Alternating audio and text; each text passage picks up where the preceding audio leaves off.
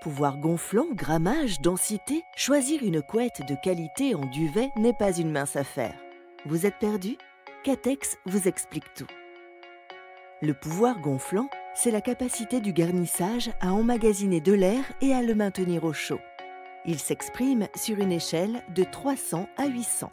Plus le pouvoir gonflant est élevé, plus la couette sera moelleuse, chaude et légère.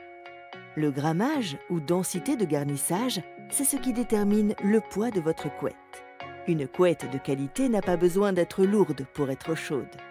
Ainsi, pour une couette en duvet à haut pouvoir gonflant, un grammage de 250 grammes par mètre carré suffira.